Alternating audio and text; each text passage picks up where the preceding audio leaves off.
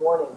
I'm Carol Austad, uh, Child Analyst from Ann Arbor, and I'm here uh, to talk with our distinguished visiting professor, Massachusetts.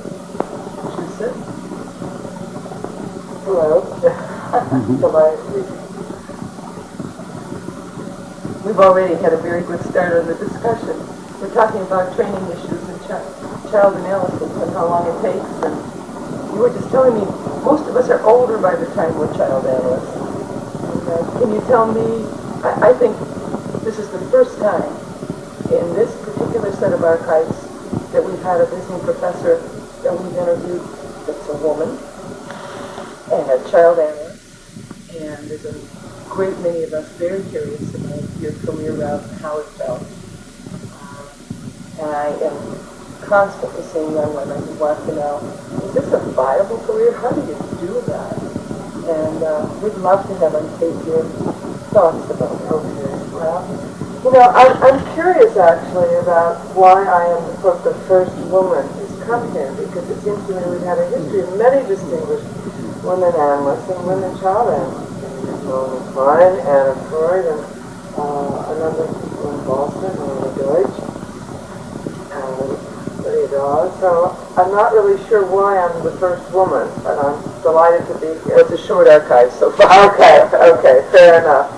Um, well, I became an analyst uh, because my father was an analyst, I guess. And uh, let me start by talking a little bit about him, if I may. Um, my dad was an Iowa farm boy who went to New York, trained, uh, did his psychiatric training at New York University, and initially entered the William Alanson White Institute there. Um, felt that it was not enough, and then when he came to St. Louis to train the first black psychiatrist at an inner city uh, hospital, state hospital called Homer G. Phillips, he began to commute weekly to Chicago to do analytic training at the institute there. And a number of years later, started with uh, four other analysts, the St. Louis Psychoanalytic Institute. And so I grew up in this very excited, uh, enthusiastically yeah, involved community. Uh, psychoanalysis was really their life. I mean, they really dedicated themselves to it. And my mother was a psychologist, so I heard a lot about that. Actually, I remember uh, when I was in my young teens, my father was having a bitter argument with someone on the phone from Chicago. Things were very authoritarian and controlled at that time. I remember when he hung up the phone, I said, but Daddy, you've both been analyzed. Why are you fighting? You know, it's like if you'd been analyzed, you wouldn't fight. So was it. But at any rate, I grew up uh, in that atmosphere and um, knew I was going to be a doctor. Was very interested in things psychological. It was funny, my father was very keen on my doing more neurology, but actually that wasn't my interest. I spent a lot of time with English literature, I think I was much more of an intuitive person, but I now see that neurosciences is very much a part of our field. I think Kandel's recent article, I don't know if you've seen that in the American Journal, it's fascinating in terms of the underlying innings of psychoanalysis as well. Anyway, went off to college to Wellesley, uh, for a while was considering doing some playwriting. I do write a lot still, uh, some poetry.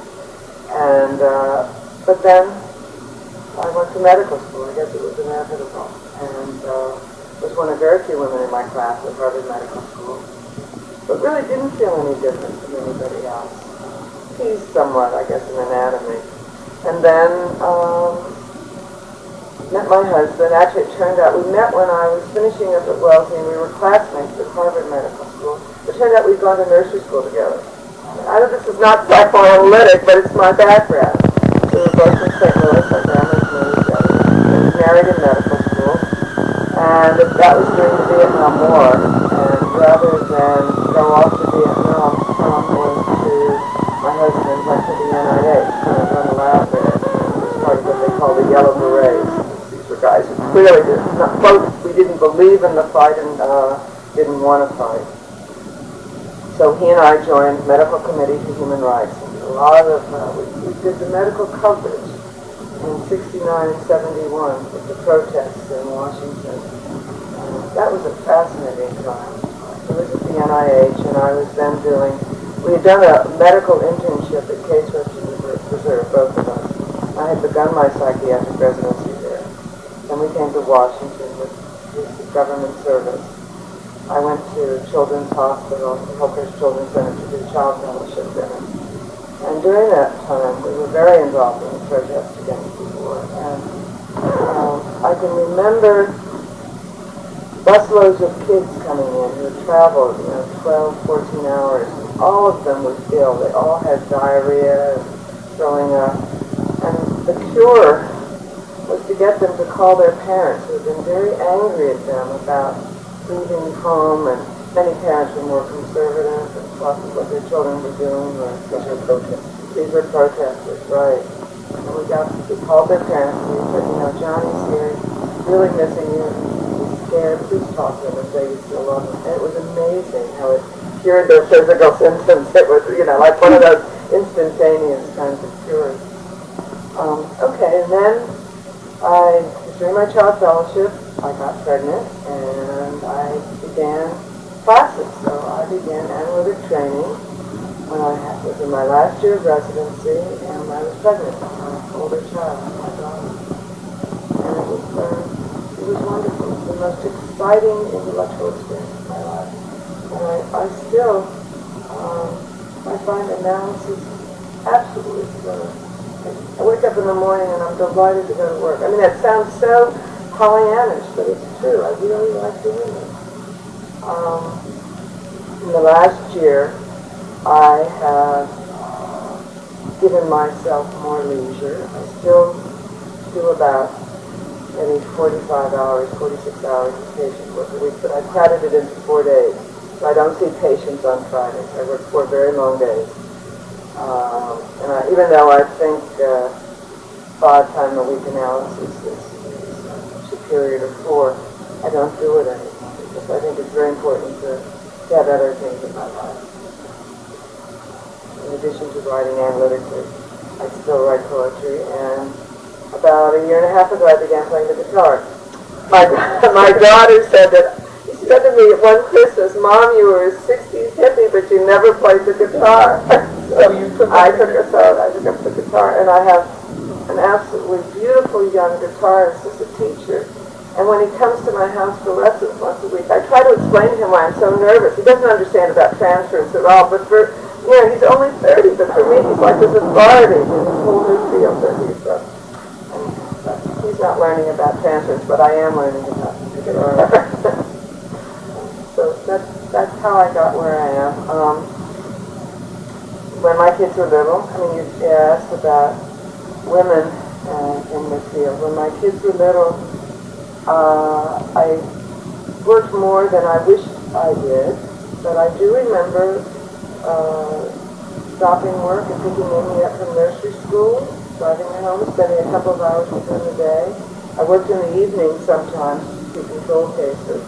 Um, and one thing that was terribly important was that I had full-time help. And I still, actually, Carol, I, I still don't like the idea of daycare centers for children.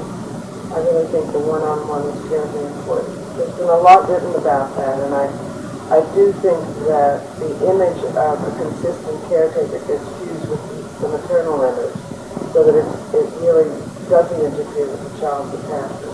But I think that there are multiple changing caretakers and multiple children demanding a caretaker's time. That's not healthy in terms of the early attachment. I'm glad you could say that. We, that's been our experience. Yeah. It's a very hard thing to. I, think that the recent integration of John Bowlby and Mary Main's work on attachment theory and psychoanalytic thinking is terribly important. I think that that basis of a secure attachment in the first year and a half really is fundamental to developing personality. Yes, I see you've written about attachment theory Right. and its use and meaning, Clinical personal treatment. I wouldn't have asked you this right away, but it's so connected.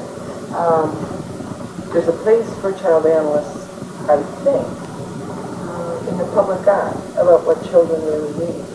And this is a really tough question because we're trying to figure it out here. Should we be the ones that say something? about what children need. And this has come up particularly recently, not just because of the Serbian refugee children, but very much because of the new shootings and youth violence uh, in Colorado, where everybody seems to have something to say about how these things happen, what children need. And I wondered, you're closer to political uh, expression in ways that might be helpful. What are your thoughts about it? What do you think one ought to do in our circumstances with our backgrounds? What help? Well, it's interesting. I've done a lot of thinking about that actually, and I can remember when, oh, many years ago, when my, daughter, who's now 27, was then or five. I was a room mother at her school, and I also volunteered to give talks to the, to the parents. And the parents would wanted to hear about everything. I mean, things you, we might think were forbidden, like childhood sexual interests and stuff like that. But the moms who were working didn't want to hear about the need to be home to take care of their kids, at least part of every day. And um, I gradually recognized that you can't tell people who don't want to hear things what they don't want to hear. So even though it would be nice to think that if we got, you know, in talk shows or whatever, child analysts and talk about what we believe in, I don't think that's where we can be effective. I mean, maybe a little bit, but, but this crisis is, you know, is going to fade just like any other crisis. And people wear golden handcuffs sometimes in terms of being chained to a job that makes them uh, feel powerful in terms of wealth or status, and they're reluctant to give it up for something that they don't quite understand.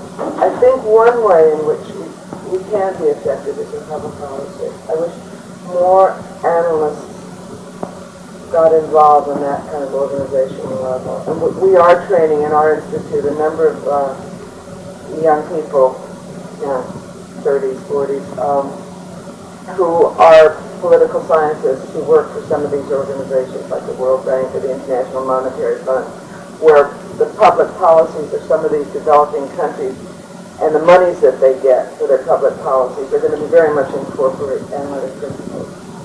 Uh, and I wish the same were true in government in the United States. It isn't yet. I don't think there are any analysts who are, although I understand in Ann Arbor, there was somebody in the school board, an analyst ran for the school board, is that right? I believe so, but Yeah. there- this hasn't surfaced yet as to which one of them did. But anyhow, But public policy. I mean, think so. It's true. The public doesn't want to hear what children and the policymakers surely don't. I am very impressed by a program that you have here uh, at Starfish. I don't know if you know that program, where there's, there's a woman who was analytically trained, but not an analyst, who's an administrator of this problem uh, program and addresses the problem of foster kids and kids who've been sexually abused. And I think that kind of investment is terribly important. Right, and everybody tries to be a consultant on different organizations. Yeah, and I do that also. for many different organizations. It's, it's not, it used to be we didn't go talk to the media because we wanted to preserve confidentiality. We didn't want our patients to see us in the public eye. Uh, I don't think we all consider that quite as important as we once did, but I, I just don't think we're effective that much. You know, a very small group of analysts, and uh, those people who have been analyzed understand it full well. And a little psychological. It's scary though. I, I think our, our culture is really changing. I understand that this tape is going to be heard um, 20 years from now as you tape every visiting professor. And it will be interesting to see if the culture has changed, if, if, uh, if there's more structure provided for young people, if parents become once again more invested in what being addressed. It, it has something to do with the evolution of the family, and hopefully both you and I can see what we said 20 years ago previously. We have had many interests, including trying to get a family raised through all this, and this is what I'm asked most about by people. Young women send to me, is this a viable career? And it certainly is. One has to throw money at it uh, as far as having help. You can't fold socks and play with your kids and. Well, But then you've involved many other interests, and Tell me about being a writer of this field. Okay, um, let me say something first, though, going back to what you said about, about being, uh, a mom, because it's, it's connected. Um, you can't do everything. When, and when, a lot of, a lot of the young women ask me, you know, how can you achieve some, uh, success in your field and still be a mother and still be involved with some kids? And actually, this, this is a career in which one can do that, because you, you do have control over your time. You can see patients when it's convenient for you. Uh, you can schedule hours after the children are in bed or early in the morning before. I can remember when I was younger, I would start at 6.15 in the morning and then, you know, work until the kids for breakfast. be there for breakfast. You're absolutely right. And the kids would be off at school and I'd see them and then I'd see a couple of hours in the evening. And it, it was grueling. Um, but it was very much helped by having uh, someone help out at home, having full-time help. And that was important.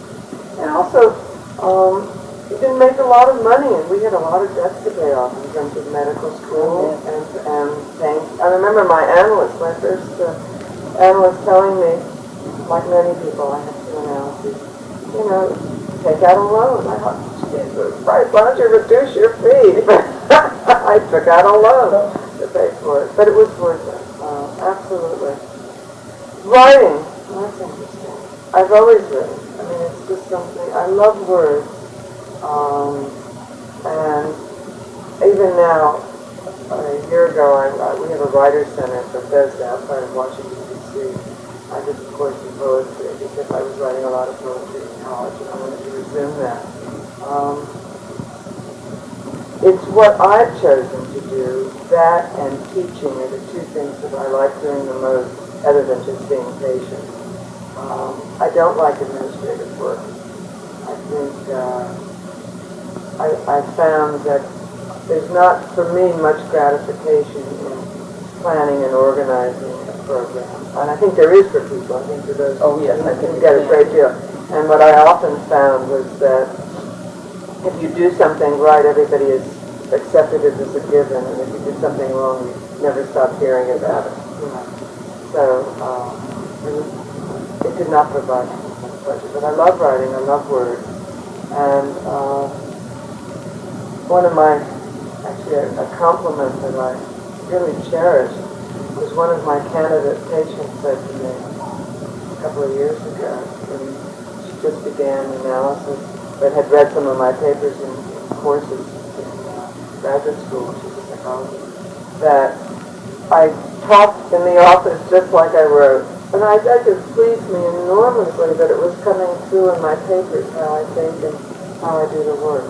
And your personal self Yeah. involved in it. Absolutely. That's the piece of courage it must take to be able to just keep writing and not Yeah. be self-conscious. Yeah, I think that's true. I think that's true. I, I if you've read my, any of the things I've written, I don't write heavily theoretical papers. I write Clinical. about clinical papers, because that's really what I do. Um, know, it's thrilling to read them be- just because we never see enough clinical material of each other's. And, uh, And we have such really limited experience ourselves. There are not different patients that we can treat in a lifetime. It- allows me to think, actually, again, because of the It's hard. It's always, every new paper that I start is always hard. You know, a lot of procrastination and and turning on the computer and starting to write and then thinking, oh, uh, you know, flipping to a computer game a little bit and then going back. But once you get into it, it totally involves you, you know, and your mind keeps on working on it all the time. good, that's inspiring. We need the inspiration. Another interest I noticed, I've given you the of course. Okay. Um, besides my interest in what is this business of obsessive compulsive defenses. But the other one was the teaching of psychotherapy, and we've mounted a psychotherapy program here with some ambivalence, I think, about what are we doing. How diluted can a program be and really help some people out in the world that know about the treatment of children. You've Dr. Screw, obviously. Could you give us a little of your advice? Well, or feeling about? Well, I'll, I'll tell you something that I remember. When I was a candidate, there was a man, Robert DuPont, who was head of the Drug Enforcement Agency, and he tried to be a candidate, was not accepted. I, I don't think this is confidential. Um, and I couldn't understand why. I don't remember the reasons given, but I thought, you know, it doesn't really matter. If, if he's going to have, be in that kind of position, why not give him the analytic understanding exactly? And I think the same thing is true about psychotherapy programs. People who are going to treat children are going to treat children regardless of their training. And why not give them as much as they're willing to absorb? I don't see how in any way it can be an interference with their work. It can only be a benefit. Um, it's, and people who are truly interested in doing analysis will move on. We've had a number of people who've gone from the psychotherapy, who've done the whole psychotherapy for a training program, which we've had at our institute for a number of years, and then have moved on to do analytic training. So uh, it seems to me that you also you also get people who, who don't know how important it is to them until they've experienced the learning. That's a wonderful viewpoint and very helpful. What does one have to lose? Yeah. The more anybody who has to deal with It's, it's, it's, not, it's not hurtful knowledge, I don't think. It's not hurtful knowledge. I remember when I was in medical school, they had, and then as a resident, they, there's a psychiatric group, group called the Group for Advancing Psychiatry, and they had, um, resident fellows, so I was, asked to do that for two years, and I was, I was on a, um, they were studying psychotherapy at that time particular group that I was part of. And what they found was, it was really fascinating, that was that the maintenance workers at the Boston Psychopathic Hospital, that the receptionists at the abortion clinics could initiate treatment as well as anybody else if they were engaged and, you know, empathic with people. The problem was they couldn't terminate the treatment. They didn't, they didn't know how to move people through to an autonomous position. I suppose because they derived too much the benefit themselves in the relationship. And so they would either, you know, abruptly uh, cut it off because there was too much pain in to themselves, or else they would continue it long past the time it was appropriate. And it seems to me that, in fact, when you think of, I'm sure this isn't the only reason, but when you think about inappropriate treatments, you know, the, the boundary violations that Glen Gabbard uh, talked about, or some of the treatments that people feel that they were hurt or very disappointment. I think I think it's probably not because they were invested in their therapist. I think that, that probably happened all too quickly, or just um, quite strongly. But it was because something happened along the way, and in, in order for the person really to derive, take some benefit himself from the work. And I think that's what programs like that can help people with people who are intuitive, who are, in, I mean, not talking about your psychotherapy, but who are intuitive, interested in other people, but it can help them structure it, set limits, and really help people take something positive from it. I mean, that's my thinking. It's wonderful. I mean, it's very helpful to think about that and, and this whole issue of termination. Yeah. And that that's such an important part of analytic education and it's just not part of other kinds of mental health. I've never seen it written about. The capacity to let go. Yeah. For the therapist to let go as well. That's right, and understand, the, you know, the defenses against. Yeah. Enough to move the patient on. It's very interesting. It's amazing how you, how you take things at different stages of your life. And one of the things that I found, uh, when I look back at some of my old papers that I didn't realize when I was writing them, is that we're always writing about things that are very important to us, those little pieces of ourselves. And I think that's true actually when you do analysis, that you learn something about yourself with each patient. It's certainly true, and you interview distinguished Whenever you're thinking about certain issues Yeah, you struggle with, right? It's very helpful because they're very familiar issues.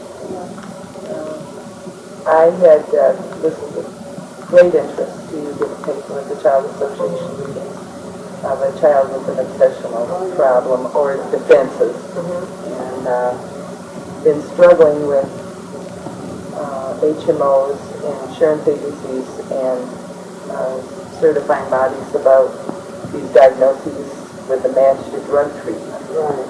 And uh, I'm sitting there listening to this wonderful presentation of this little girl who's defending herself with these special defenses and thinking, in our hospital, she would get some drug for obsession with But you know what's so interesting is uh, Judy Rapoport, who's the one who initially talked about all the drug treatment from the NIMH, she's trained as an analyst. And actually, it's a friend of mine, although she's gone more psychopharmacological, she really understands the value of it. And Henrietta Lovin, who's another researcher and has continued some of this work, has told me several times when we've talked about this, that these kids do not do well if they just get drugs alone. They really don't. They're, they're very disturbed, and they really need some more intensive form of psychotherapy. The drugs can be an ancillary treatment, uh, but of course the insurance companies don't. And you know what's fascinating is that the, the iron, when, well, let me go back a bit. When I was finishing my training and trying to make some money in the process of building up my practice, I worked for Blue Cross Blue Shield as an advisor along with Alan Zients, another child analyst, trying to decide which claims should be honored and which not. And our big struggle then was whether or not to honor six time a week analysis or only pay for five days a week. Can you believe it? No, no, no, no. But the IMF, the International Monetary Fund, and the World Bank, which has many um, employees from all over the world, pay for completely for analysis. So I think it's interesting that other people dealing with other countries, and I know that's true in Holland too, and in Canada even, analysis is fully subsidized, Right. but not here. Here we're for the quick and easy. Well, I'm sure the pendulum will go in the other direction. I hope so. Uh, Does it, uh, do candidates worry about an analytic course, of course they do. Yes, Of course they do. Very much so. It's such a wonderful perspective to hear, though, that other countries haven't come to this 20 sessions, that this may not be forever. And in Detroit, it seems to me the community outreach that you do really has built up an interest in psychoanalysis that many people are willing to pay for it themselves. Or at least as much as they can. Right. Yeah, we all do you see. Uh, I think we're supposed to say the date today. Is that right? Oh, we didn't say the date. Right. It's April 24th, 1999, and we're having a good time. This is fun, actually. Do you need us to start? Uh, anything else that I can ask? What would you say if you knew 20 years later somebody would be looking at this and saying, I'm wondering what the child analyst or grad distinction was thinking that thinking about seeing my family soon. I'm looking forward, I've been away for a week and I'm looking forward to seeing my patients. Uh, I really am. I want to, I want to get back to work. It's a funny thing. I love it. Um, what, what I say? I would say that child analysis is much more difficult than adult analysis, I think, because not only, uh, do you have to think about what's going on between you and the patient and continually self-scrutinize? But there are two other factors. One, there's the tug be nurturing, even more so than with an adult patient. And I think when you have to guard against it because the transference is the same with children and the countertransference pressures are the same.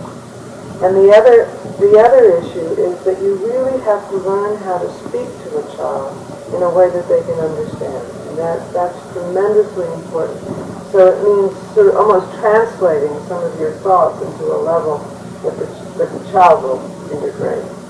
Um, one of the nice things as you get older is, is the capacity to pick and choose. And I know I've just begun the analysis of two little girls who are eight, uh, who have similar histories but very different symptoms. So I think of analysis not only as a, a treatment that provides something for the patient, but also as a source of information to me. That I'm still growing, I'm still learning. And it'll be interesting for me both to see how these little girls evolve in their treatment, but also what my responses will be to the two. differing responses. Exactly, exactly. You know, because I'll have their similar histories in mind, but then for the moment-to-moment response will be very different. Good.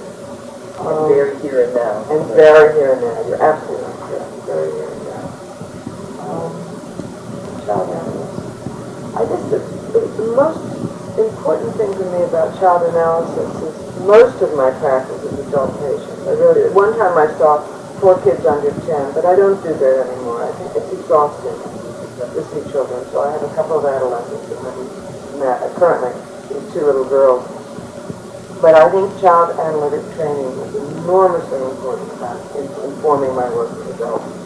And um, if for no other reason than just to have a greater understanding of patients, adult patients, I really try to get as many candidates as possible to do some child analytic training, even if they don't complete the course, to have a one-child analysis.